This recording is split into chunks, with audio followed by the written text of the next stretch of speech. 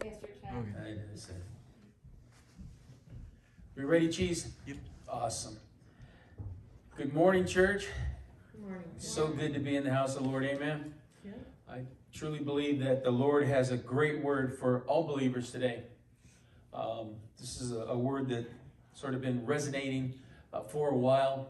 I believe that uh, God wants His people to uh, uh, be in a state of ready, to be prepared. Um, we're going to talk about a subject that's, uh, you know, a lot of a lot of pastors, a lot of preachers don't talk about. Uh, you know, they talk about uh, God is love and and He is, and God is good and He is, uh, but they don't tell about the the side that, that we need to be prepared for. But there's a time that's coming.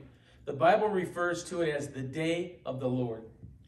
You know, I'm a, I'm a believer. I, I, I got saved at 95, and, and I believe that the Bible is the Word of God. I believe that the Bible is the truth.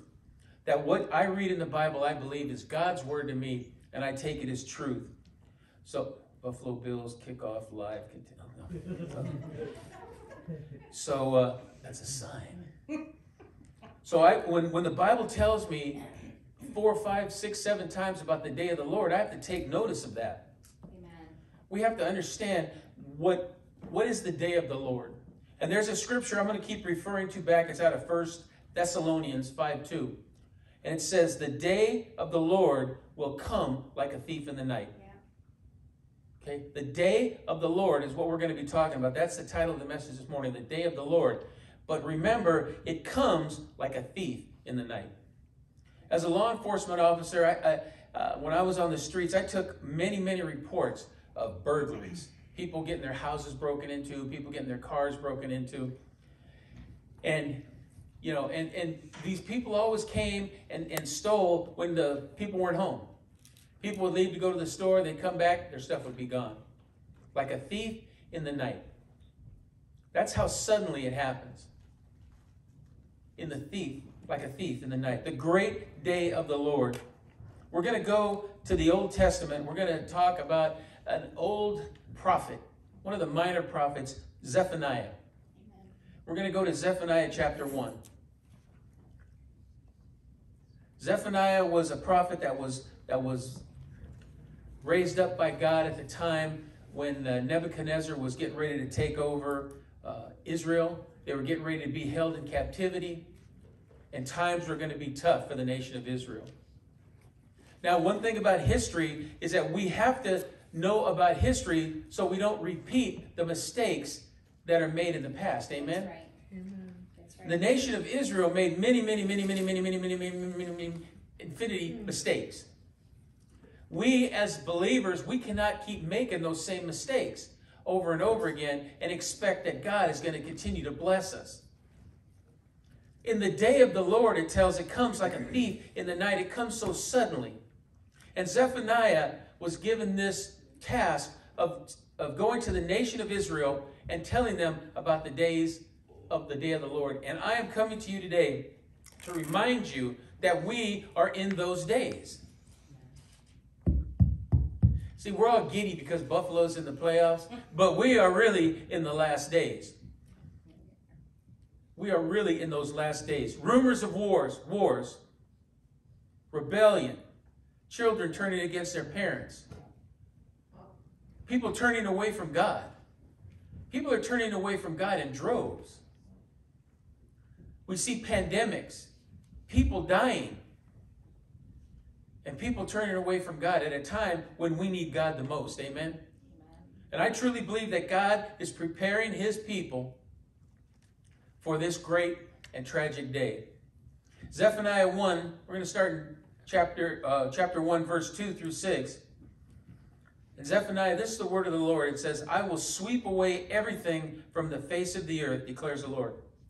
See, we should stop right there and, and sort of contemplate what, what God says is He's going to take away everything from the face of the world.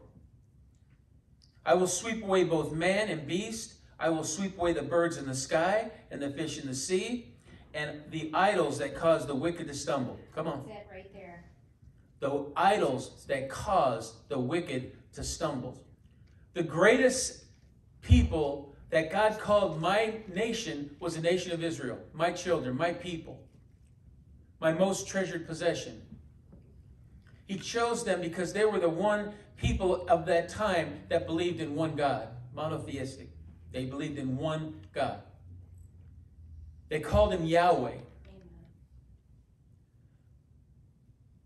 We heard the song today when Judah, that was one of the names they gave God because they didn't want to say Yahweh because it was such a holy name that they would have to bow in reverence or clean themselves just to even say the name of Yahweh. How we have fallen in just this amount of time. God's name is not as great as it should be in our lives because of these worthless idols. And worthless idols just are not statues that were brought up. Right. What any idol that takes your uh, attention away from God is an idol. Football teams could be an idol. Did he say that? That's true. You know, uh, people here, as you heard Pastor, they idolize football players. They, they are they are heroes. They want to change the name of streets. Yes. Josh Allentown. They- you know, they- and it's amazing. You know, I come from California. I come from the San Francisco Bay Area. I am not a Buffalo Bills fan. I am a San Francisco 49er fan. We have five Super Bowl trophies. Hey. Five. I've been a Niner fan all my life. I started going in the 50s. That's right, the 1950s, not the 1850s. And I've been a fan all my life. I've lived and died with my Niners. But I have never seen worship like I have seen here in the in Western New York. It is the most amazing thing I've ever seen in my life. Tonight, there's a game of what, 640? Temperature is supposed to be like 20 degrees, 18 degrees. There's going to be a group of people out there in Buffalo that are going to be partying outside, whooping it up in 20 degree weather, watching a game on TV, the same TV they have in their homes. What for? It's, it's this thing with this idol thing. Last night I watched the news. From 11 o'clock to 11:20, all they talked about was Buffalo. That was the whole news. You would think nothing else was going on in the world.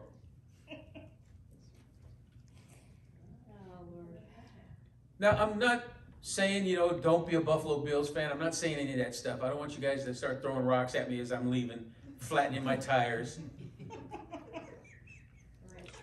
but you know, firing me. But I just want you to be aware that there are more important things than the Buffalo Bills. See, the day of the Lord comes like a thief in the night when you least expect it. Yeah, See, it says two people are going to be plowing, boom, one person's gone. that's right. Two people are going to be walking down the street, boom, one person is gone. Six people are going to be gathered in the living room getting ready to watch the Buffalo Bills game, boom, half of them are gone. Not tonight, Lord. And then you're going to see people really turn away from God. I'll go. The, the, the day of the Lord is coming like a thief in the night when you least expect it.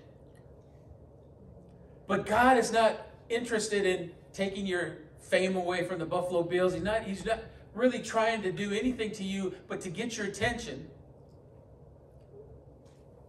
The thing, I will stretch out my hand against Judah and against all who live in Jerusalem. I will destroy every remnant of Baal worship in this place and the very names of the idolatrous priest. The idolatrous priest. What? We see that today. Everything that I'm reading right now, you see today. Yeah, yeah. I, I see idolatry in every form. A couple of weeks ago, there was this big deal election down in Georgia. There was one man that was running who was a minister in the Baptist faith. He was running on the Democratic ticket, and his platform was that if Jesus were alive today, he would say it was okay for a woman to have an abortion. No. That abortion was a woman's right to choose, and he tried to say that it was in the Bible. False prophets. And there are people that actually believe that, and there are pastors that backed him up. And I'm thinking, oh Lord, what are we coming to? Which Bible are these people reading? I just got done telling you I believe the Bible is the true Word of God. And I looked up every scripture that I could find in every translation, and nowhere in the Bible did it tell me that sin was okay with God. That's right. And sin and abortion is a sin because it's murder. Preach it, Amen. Pastor. But yet we have people, the highest person in the land, claiming to be a devout Catholic,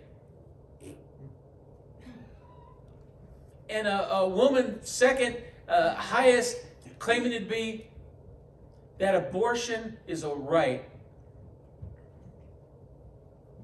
that sin is a right. We have come so far away from the Word of God that if you look at history, what happened when God's people sinned? He sent the flood. What happened in the wilderness when God's people fled? He sent snakes. He sent earthquakes. He sent pestilence. What do we have today? The coronavirus, if that's not a pestilence, what is it? It's a virus. How many people have died from this pestilence? Too many, A lot. Bunch. too many. I saw this article yesterday in California. 600 people a day are dying in California. 600 people a day. Church, God is trying to get our attention. God is trying to get our attention. God is having us in a state of ready to be prepared for the day of the Lord that's going to come like a thief in the night. Are you ready? Have you prepared yourself? Western New Yorkers, we know how to prepare for things. We know how to prepare for winter. We know how to prepare for summer. We know how to prepare for spring and fall. We, there, there are seasons that we need to prepare for. As the seasons change, we need to be pre- prepared and ready. I know that when we go to spring, from spring to summer, I have to go down to the basement and get 47 little things up there, bring them up there for Lucy to change into her summer clothes. And then take the 47 things down there with their winter clothes. We have to be prepared. Don't you have winter boots? Don't you have summer shoes? Flip flops? We are a nation that has to be prepared, and we are a people of God that need to prepare ourselves. Do not fall for the lies that you hear. If you don't know the Word of God, how are you going to know that a pastor is not telling you the truth? That's right. That's right. That's right. And I truly believe that, I don't want to say they're ignorant, but they, they're ignorant because they don't know the Word of God and they believe what this guy's saying. You pick and choose what you want to hear. You, you get your ears tickled, you believe. Yeah. The Word of God in Jeremiah says, Lord, what can I tell these people? Your Word is offensive to them. It is. People that don't know God's Word find offense to it. Yeah. Oh, you're homophobic because you, you think that uh, homosexuality is a sin. It is. Oh, you you're you don't like women because you think that abortion is murder. It is. That's not my opinion. That's God's word. That's God's word. Don't get mad at me. Get mad at God. But you shouldn't get mad at God. Pastors, those, those who bow down on the roofs to worship the starry host, those who bow down and swear by the Lord, and who also swear by Moloch. Moloch was a, a god that the people would sacrifice their firstborn children. Yeah. Moloch was the god that the people would sacrifice their children to. Yeah. Are you hearing what I'm saying? Moloch was the god that people would sacrifice their children to. And now you see these people, the same people that swear by God, also swear by the God of Moloch. That's right. We have the same situation here today where people are proclaiming to be religious, God fearing people, but they're saying that it's okay to support Moloch and the sacrifice of children. Yeah. You know, a lot of people don't want to hear this. Oh, Pastor, you know, you're getting kind of political. No, I'm not getting political. Biblical. Biblical is not political, and it's not even subject to disagreement. God's word is God's word. And the day of the Lord is coming. And if you are not prepared for it, then you're going to be in a world of hurt. My job as a pastor is to prepare you for things to come. My God, my word as a pastor is to my word. My job as a pastor is to give you God's word, but you have to make the decision whether or not you want to follow it or not. That's right. I cannot force you to do what you don't want to do. That's right. We can't force you to turn your lives over to God. We can't force you to prepare for the day of the Lord. Zephaniah 1 14 through 15 The great day of the Lord is near and coming quickly. The cry on the day of the Lord is bitter. The mighty warrior shouts his battle cry. That day will be a day of wrath, a day of distress and anguish, a day of trouble and ruin, a day of darkness and gloom, a day of clouds and blackness. sort of sounds like the weather in western New York, the winter time.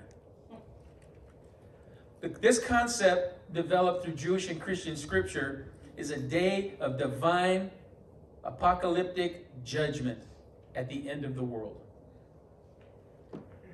Did you hear what he said? There will be a day of wrath, a day of distress and anguish, a day of trouble. See, many of us think right now that what we're going through is trouble.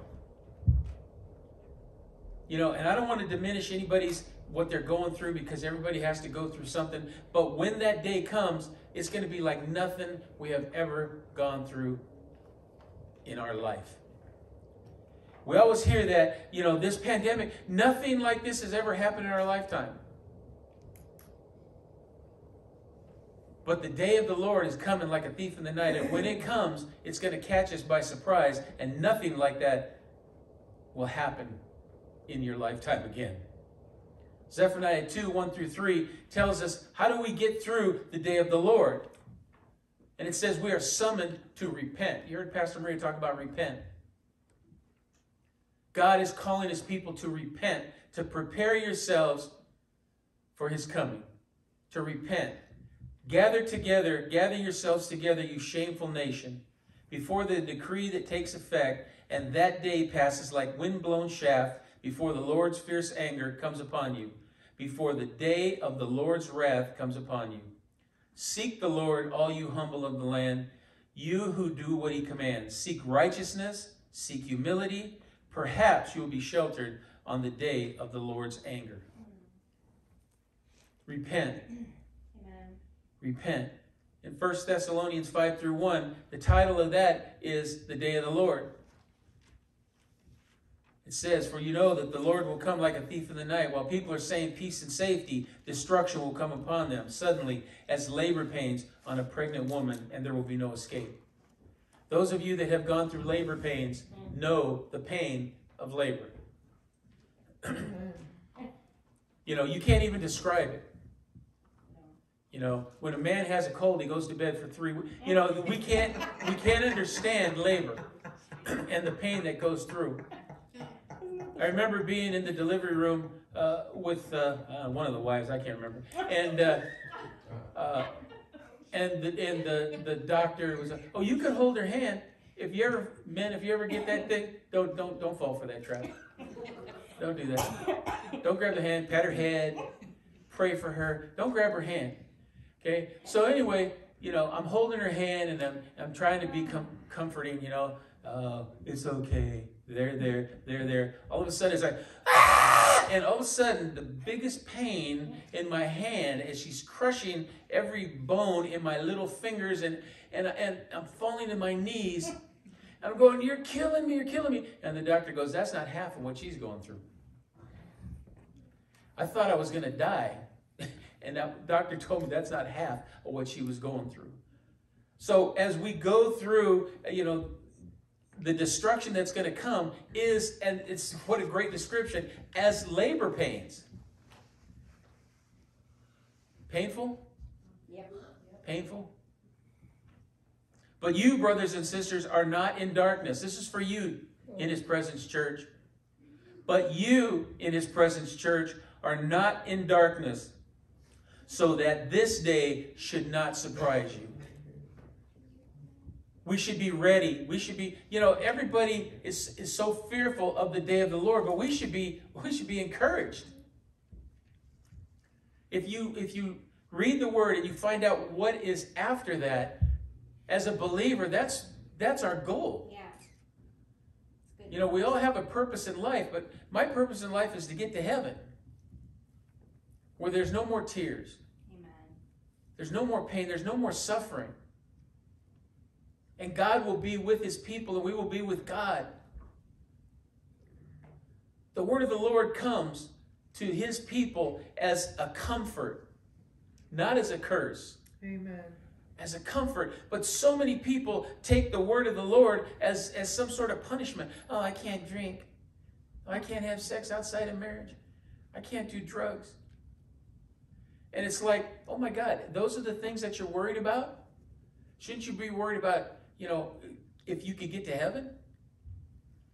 I wish I had a dollar for every time I heard somebody say, well, you know, I'm not ready to accept the Lord right now, Pastor.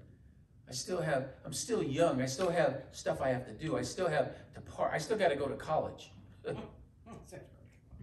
Save your money. Repent. Repent. We talked about this last week, I believe. The first preacher, the first message preached from John the Baptist was repent, for the kingdom of heaven has come near. Amen. Amen. The first message Jesus preached after he came out of the wilderness repent, for the kingdom of heaven has come near. I'm here today to tell you in his presence church, all you listening on Facebook Live, everyone that can hear the sound of my voice, repent, Amen. for the day of the Lord is near. I'm not trying to scare you, I'm trying to get you ready to prepare. Acts 2:38 Peter said, "Repent and be baptized every one of you in the name of Jesus Christ for the forgiveness of your sins." We all sin and fall short of the glory of God. We all have something we need repenting from. Yes. We do. We do. You know, at the church when we came out here, there was this elderly woman, elderly, she's probably my age. and uh, the senior pastor was preaching a message on we all sin and fall short of the glory of God. And as we, uh, as was our custom, as the church left, the pastors would be at the door greeting the people as they left. And this lady was very offended with Pastor. And she said, You know, I never sinned. Oh boy. Wow. I have never sinned, she said. And I looked at the pastor, the pastor looked at me, and what do you say? He said, Really? You've never lied? Well, yeah. You never cheated? Well, well yeah. you never stole? I've never stolen. You never taken a, a pen from work? Well, yeah. We all sin and fall short of the glory of God. But, you know, sin is all relevant to what's going on in our noodle. The word of the Lord is clear about sin, about the rep- repercussions for sin. But sin is not the end of the world because there's forgiveness for sin. Amen. Yes.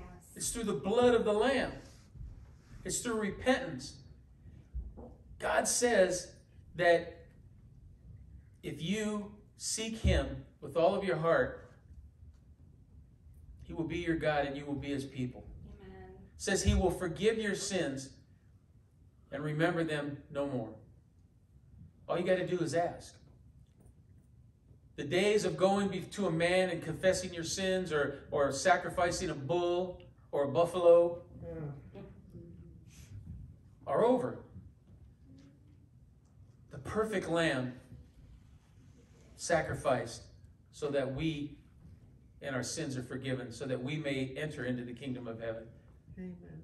Repent and be baptized. Acts 3 9. Repent then and turn to God so that your sins may be wiped out. You have to repent. Without repentance, there really is no salvation. That's right. Yeah. Without repentance, there really is no salvation. To repent means to turn from sin and dedicate oneself to one's life. To turn from sin. To feel regret or contrition, to change one's mind. We get the word repent from the Hebrew word shub, S H U W B, which translates to turn back, to turn around and go back, to repent to go back the way you started. So many of us, we get saved and we're walking this path that's of righteousness and truth, and we're doing everything we're supposed to do, and then all of a sudden we sort of get sidetracked. We sort of get off kilter a little bit. We need that repentance to get ourselves back on track. Yeah. Pastor Maria sort of uh, it's snowing. It's pretty. Oh, yeah, it's beautiful. In the book of Joel, chapter 2, 28 to 32, the title, once again, The Day of the Lord. What's going to happen in the day of the Lord? What's going to happen in those days is that the prophets are going to raise up. What you're going to see, it says, Afterwards, I will pour out my spirit on all people. Your sons and daughters will prophesy. Your old men will dream dreams. Your young men will have visions. Even on my servants, both men and women, I will pour out my spirit in those days. In the day of the Lord, God has not forgotten us. We, re- we just sang a song, Holy Spirit, you're welcome here. In the day of the Lord, God's going to pour out his spirit on all his believers, on all those that are called by his name. I will show wonders in the heavens and on earth, blood and fire and billows of smoke. The sun will be turned to darkness and the moon to blood before the coming of the great and dreadful day of the Lord. And everyone, and everyone, and everyone who calls on the name of the Lord will be saved. For on Mount Zion and in Jerusalem there will be deliverance, as the Lord had said, even among the survivors whom the Lord calls. And everyone who calls on the name of the Lord will be saved. The day of the Lord is coming like a thief in the night. And we need to be prepared. We need to be ready for when that day comes and expect it. Don't fear it. Look forward to it. In John 14, 6, Jesus answered, I am the way, the truth, and the life. No one comes to the Father except through me. The only way to the Father is through Jesus. I don't care what you hear, I don't care what you see, uh, what you read. The Bible says, makes it very clear, no one comes to the Father except through me. That's, That's right. Jesus says. Salvation is in Jesus. Acts 4 11 through 12. Jesus is the stone you builders rejected, which has become the cornerstone. Salvation is found in no one else. For there is no other name under heaven given to mankind by which we must be saved. Part of our repentance is our salvation. We need to turn back to Jesus. We need to turn away from Dr. Fauci's Amen.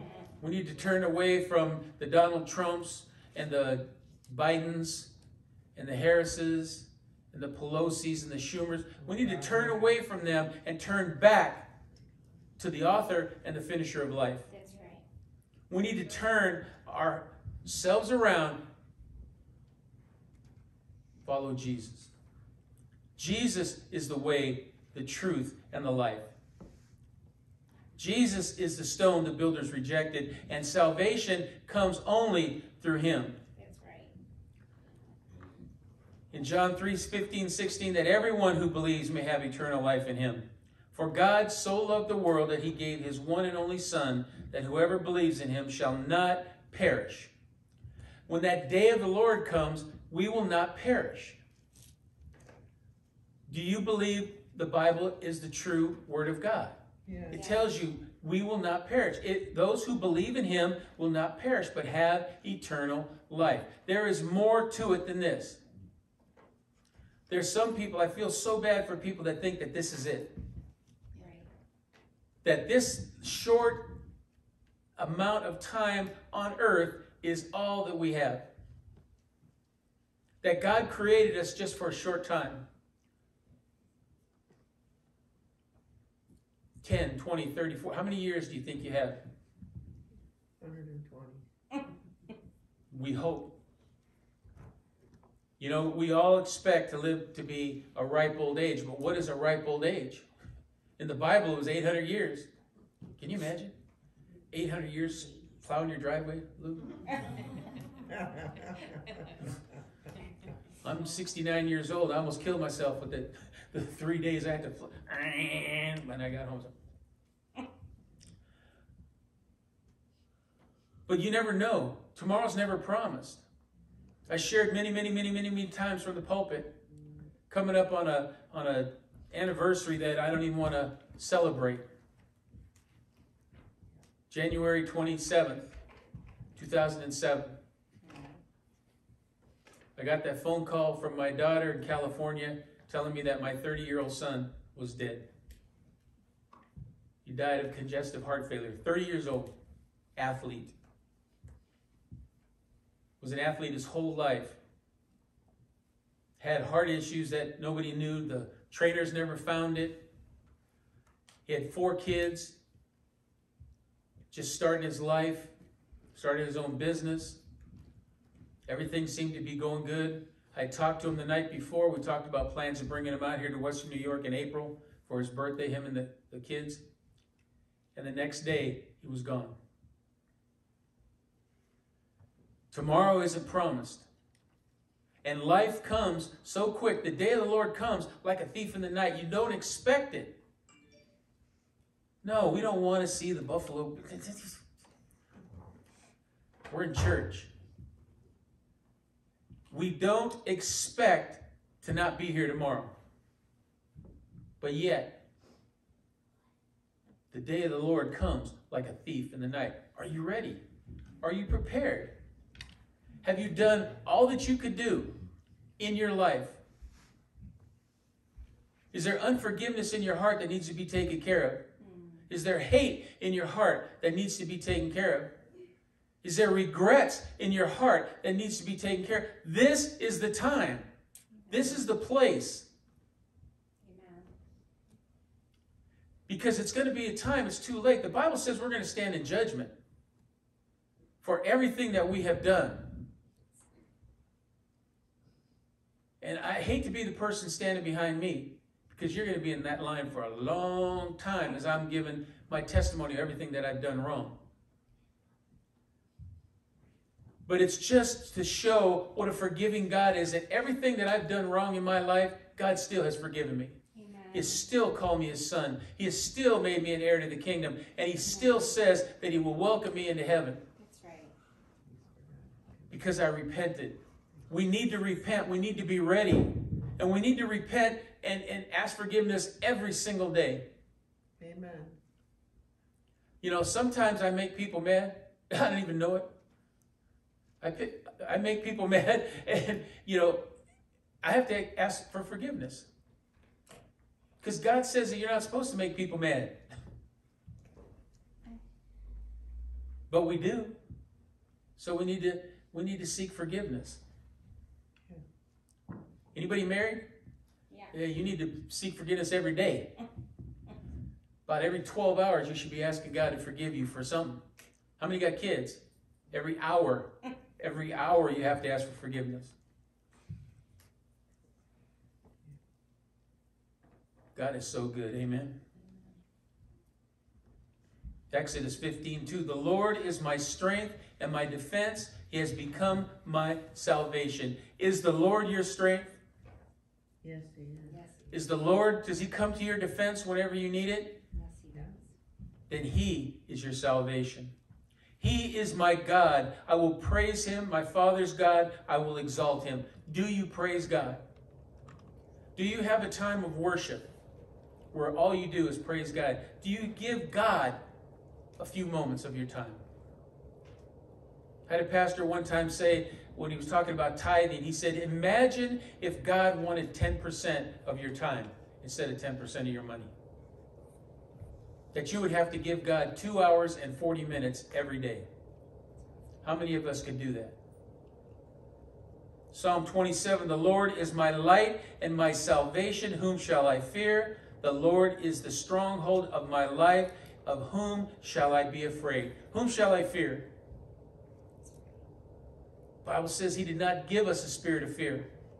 Whom shall I fear? He is your light, your salvation. Who do you fear? The Bible says, don't fear man that could take your life. Fear the one that can send you to hell. Mm-hmm. And, and I believe that God really doesn't send us to hell. We sort of earn our way there. Yeah. We send ourselves. We sort of send ourselves there. He just sort of points us in the right direction. Are you ready, church? Are you ready? The day of the Lord will come like a thief in the night when you least expect it. Are you ready? Have you prepared yourself? Have you repented? Have you turned? It's not too late now. That's right. It's not too late now. But tomorrow, I can't tell you.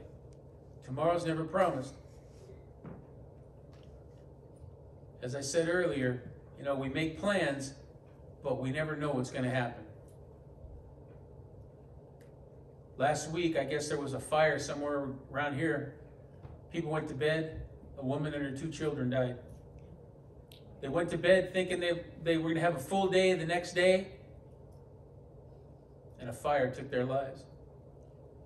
How many people, tragically, will be driving in a car, will be involved in an accident that'll take their life? Or people that are dying of violence here in Buffalo and Niagara Falls. Every day you look in the paper, somebody's getting killed. Those people thought they had a full day coming the next day. Tomorrow is never promised. Now is the time to repent. Now, when Jesus and John the Baptist said, the kingdom of heaven is near, repent. Turn. Some of us need to get our head out of the sand, forget politics, start walking with God, let God be God. Don't worry about who's in Washington, who's in Albany, who's in Niagara Falls. God is still in charge. Amen. He's still on the throne. Yes, he is. He's the king. We don't bow down to, to starry hosts. We don't bow down to fake gods. We bow down to the one true God. Jesus. Jesus. Jesus. Would you bow your heads? Father, we just thank you, Lord, that you are a great God, an awesome God, powerful God, mighty God, yet so loving, tender, and forgiving. We thank you, Lord, for the, your Son and the blood that he shed for the forgiveness of our sins. This morning, Father God, we come to you as sinners, saved only by your grace. We ask, Lord, that you forgive us our sins right now, Father God, for those sins that are hidden, forgotten, closed off, Lord. We open ourselves to you right now and we say, Forgive us. That you wash us whiter than snow. That you cast our sins upon the deepest, darkest sea, never to be remembered again. Lord, we thank you that you are God who forgives and forgets.